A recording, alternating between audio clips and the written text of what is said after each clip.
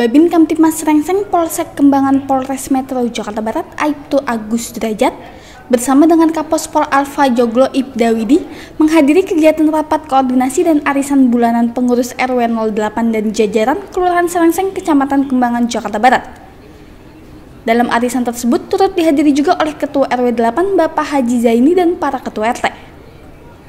Silaturahmi tersebut dilanjutkan dengan berbincang-bincang dan bertukar pikiran, serta menyerap permasalahan di masyarakat dan dilakukan problem solving terhadap permasalahan tawuran remaja dan jaga keluarga jangan sampai kena narkoba.